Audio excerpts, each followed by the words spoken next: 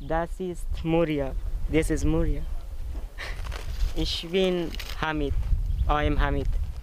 I met 14 year old Hamid a week after his home burned down. He'd been living here in a makeshift tent in the largest refugee camp in Europe, along with nearly 13,000 other people. For years, human rights groups have called it the worst refugee camp on earth. The entire place burned to the ground on the 9th of September. Here fire, fire. Here fire. All uh, Moria's on fire everywhere. So I'm very sad because this was our tent. Hamid fled his home in Afghanistan two years ago with his parents. His mom, a teacher, felt the family's life was in danger. They arrived at the camp a year ago. The authorities stopped their journey to follow their dream of a better life in Europe. Now they've told them to move to a new camp built after the fire. What is your dream for the future? I will be building engineer in future.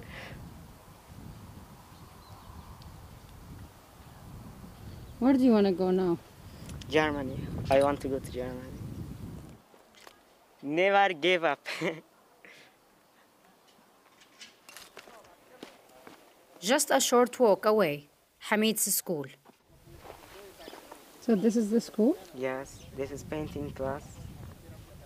What did you learn here? Here, German. German. Yes.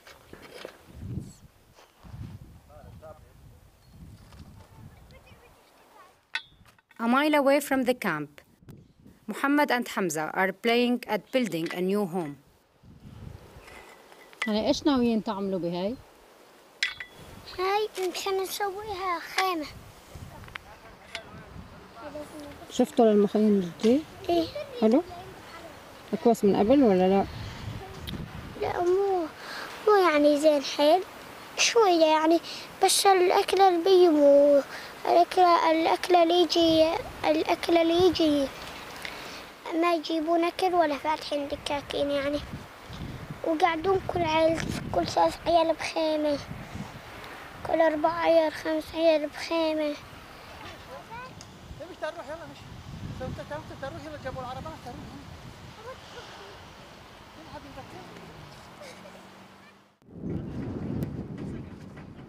Hamza is from Syria. He came to Greece with his mom, dad, and brother, hoping to join his four older siblings in Ireland. They've been waiting to leave the camp for 11 months. يلا يا حبيبي They've now put up a temporary tent in a car park. يلا انا بطلت بعد العب خلاص يعني هي هذا أسوأ شيء بمر عليكم من أول ما تجوزتوا؟ اي والله اي والله يعني احنا كنا بسوريا وكان طيران يضرب وقذايف فوق روسنا و... وكل شيء صار يعني تح... شيء ونزحنا شلنا زاد كمان ورحنا على غير مكان أما هيك نرحل ونشيل ونبني كل يوم خيمة وكل يوم شيء وكان أولادنا حوالينا بجنبنا هلا ما في حدا كل واحد بمكان Hamza's mom has also the nightmare of illness to deal with. She has not been able to see the specialist doctors she needs. This is the تيومر كتلتين على الكبد. بس لما سووا لي تحليل قال لا إن شاء الله ما في من هذاك المرض. وما بعرف. تشوفونهم صور الاقامات وإن شاء الله يكون الله يمد بعمرنا بس أشوف ولادي. وكل شيء من الله الحمد لله.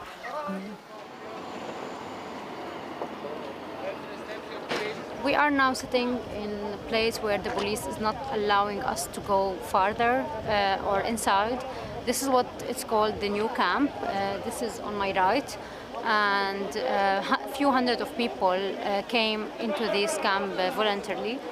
But so many others, they refused and rejected this idea that to move to a new camp. The Greek authorities announced that the new camp is temporary. But most of the refugees I met were not convinced by promises to help with asylum and to significantly improve the conditions for refugees. Come on, please, the families go to the camp.